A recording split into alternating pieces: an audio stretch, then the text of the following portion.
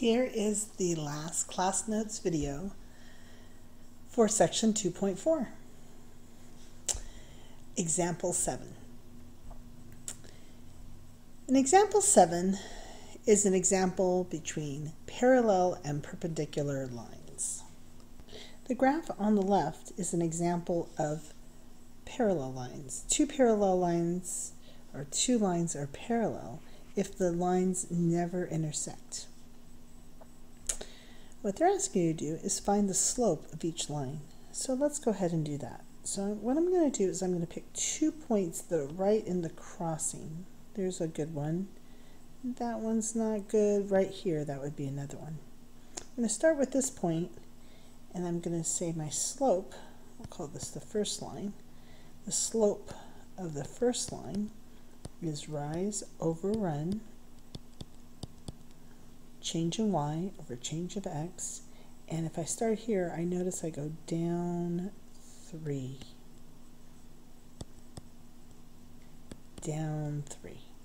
Then I go to the right 2. Go to the right 2.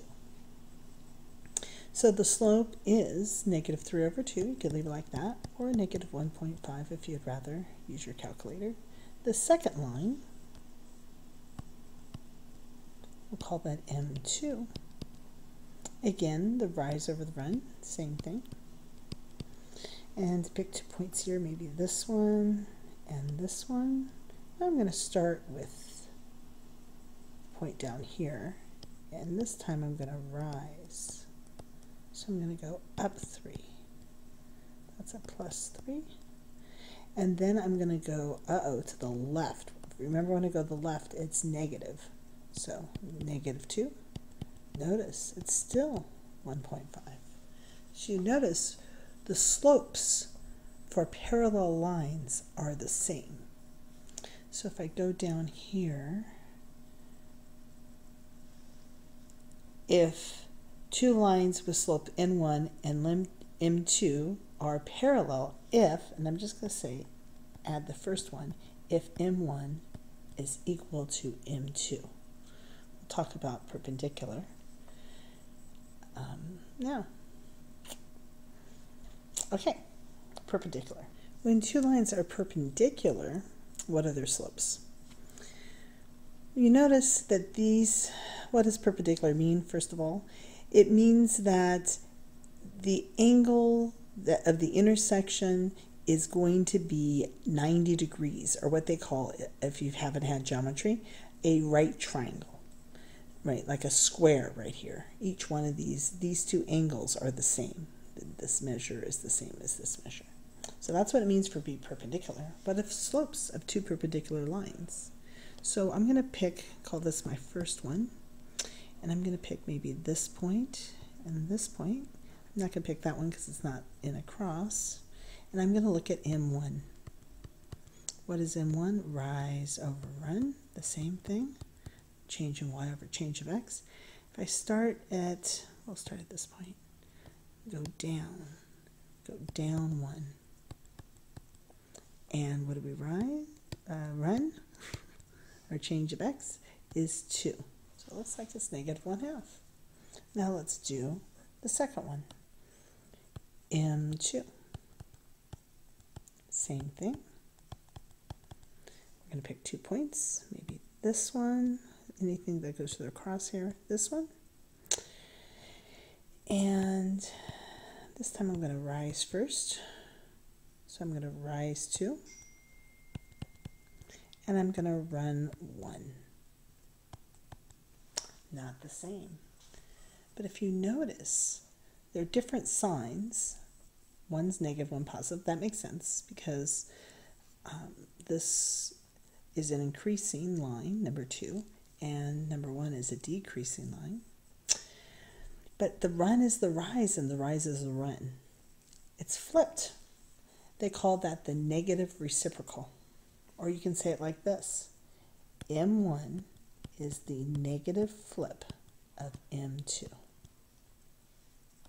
So in general, the first one, when they're parallel, the slopes are the same. And the second one, perpendicular, we know one slope is what we call the negative reciprocal, which means it's flipped of the other. So now I'd like you to pause and try exercise one, maybe even exercise two. Um, exercise one says, are the lines 3x minus 2y equals 6 and 3y minus 2x equals 12, are they parallel, perpendicular, or neither? They give a hint. Find the slope of each line by converting the slope into the form y equals b plus mx, or mx plus b. So take a moment, see if you can do this. Pause and come back when you're ready to see the solution.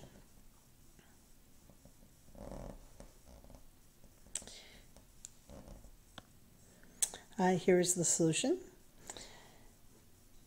Notice how, um, okay, here's the solution.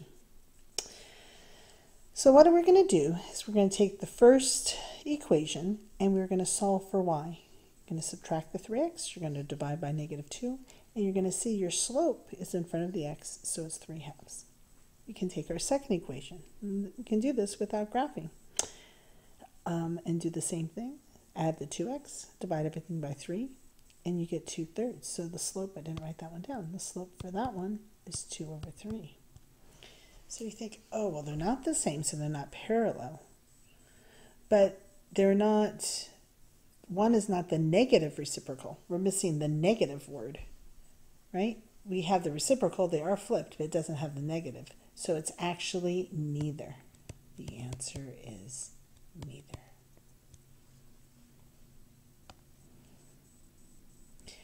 Now try exercise two. Pause here. If you can get it, great. If not, I'll show you the solution in a second after you pause. Okay, here's the solution to this one.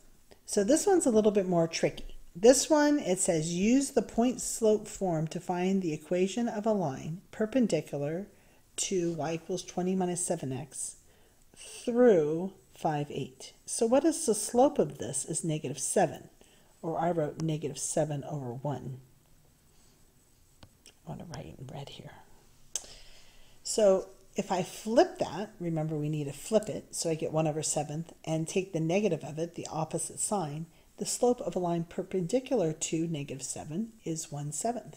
So that's the slope I'm going to use for my new perpendicular line.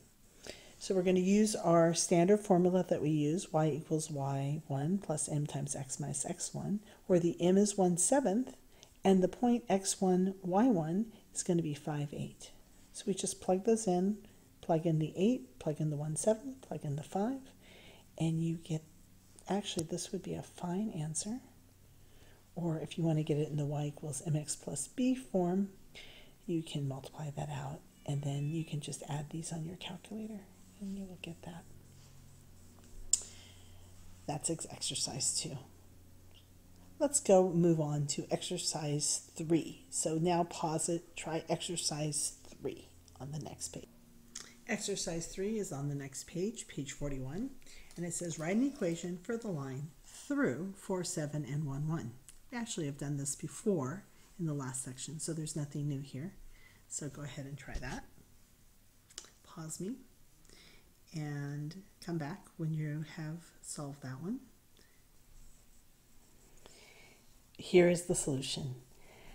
So uh, what I did here is um, I used the slope. We're just showing you the solution since it is an exercises where um, the first point is 4, 7. And the second point is 1, 1. Yep, because we went 1 minus 7 and 1 minus 4. And we got the slope as 2. And then we used that same formula we did before, and we just plugged in the 2. And we also plugged in the set um, 7 for, I used this point. Again, this point was my first point this point was my second point. So I just used this point for the one that was down here and I plugged in the 7 I plugged in the 4, and we got our answer. Okay, exact exercise 4. Write an equation for each of the lines below. So there's three lines here. Uh, this is the x-axis, this is the y-axis, and there's three lines. One going through 0, 0, one horizontal line going through 5, and one vertical line going through 3. Go ahead and pause and try this one.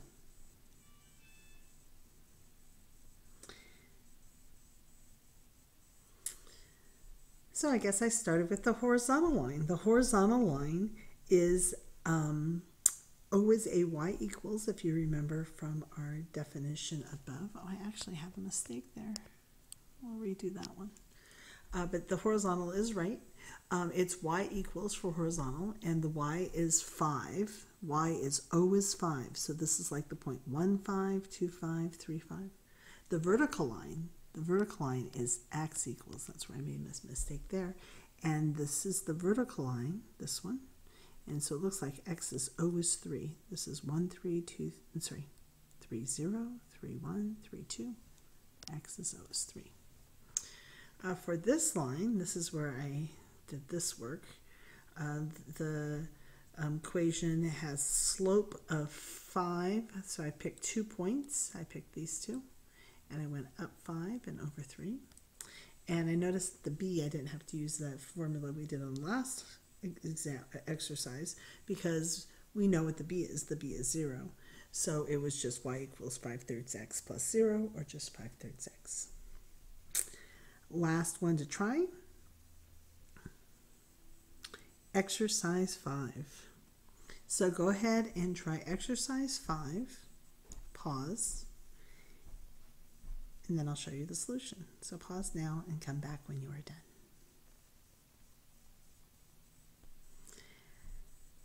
The intercepts.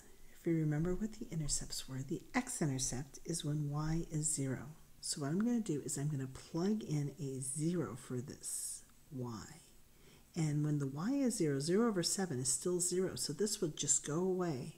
So that's why I have x over 5 equals 1. And I multiply both sides by 5 here, and that's where I got the x equals 5.